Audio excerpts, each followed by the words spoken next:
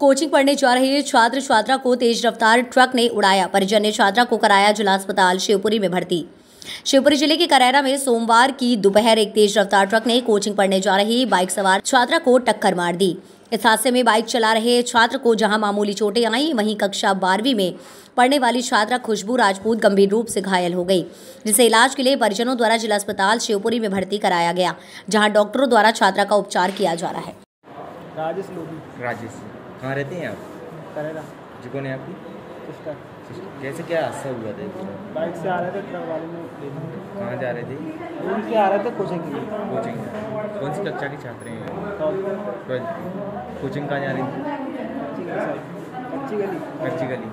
हादसा कहाँ पर हुआ? है इनके साथ में कोई और भी था क्या? हाँ। कौन फ्रेंड क्या नाम है उसका? भाई है मेरा नाम पता नहीं अच्छा वो कहाँ पे है?